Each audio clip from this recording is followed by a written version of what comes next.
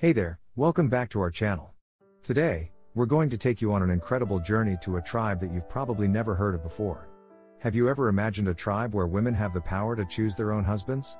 Well, that's exactly what we're going to explore in this video. The Voguls are a fascinating group of people, and their social customs are sure to intrigue you. So, if you're ready to learn more about this unique tribe and their traditions, then keep watching till the very end. And if you enjoy our content, don't forget to subscribe to our channel, hit the like button, and leave a comment down below. Let's get started. Have you ever heard of the Voguls? They are a tribe that lives in the Ural Mountains of Russia, and they have a unique tradition when it comes to marriage.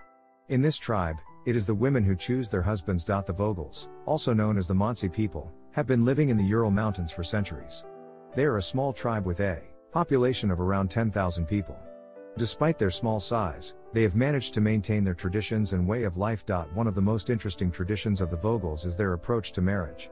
Unlike many other cultures where parents or matchmakers arrange marriages, in this tribe, it is the women who have the final say in choosing their husbands. When a young man is interested in marrying a woman from the tribe, he must first gain her approval. He will often bring gifts and offerings to her family as a sign of his interest and respect. If she accepts his proposal, they will then go through a series of rituals and ceremonies before officially becoming husband and wife. This tradition has been passed down from generation to generation among the Voguls. It is believed that this approach to marriage helps to ensure that both partners are happy and committed to each other for life. In addition to their unique approach to marriage, the Voguls also have many other interesting customs and beliefs.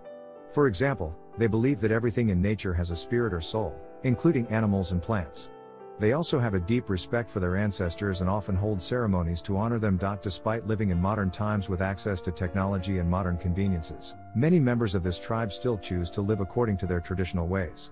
This has helped them maintain their culture and identity over time. In conclusion. Oops. Sorry about that, I almost wrote a conclusion. But as you can see from this article about the Voguls, there are many fascinating cultures and traditions in the world that are worth exploring. By learning about these different ways of life, we can gain a greater appreciation for the diversity of our planet and the people who inhabit it.